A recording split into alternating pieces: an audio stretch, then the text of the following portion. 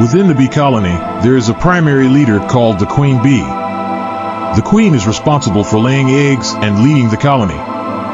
Around the queen bee, there are thousands of tiny worker bees who perform various tasks. Some worker bees are food gatherers who work diligently to collect nectar and pollen from the surrounding flowers.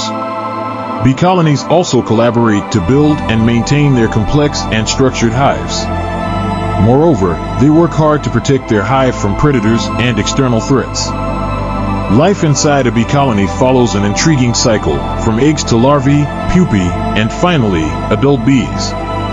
The result of the bee colony's hard work is delicious and nutritious honey, one of the crucial benefits of their existence.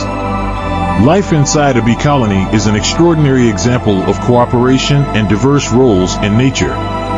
Let's always appreciate their role in maintaining our ecosystem.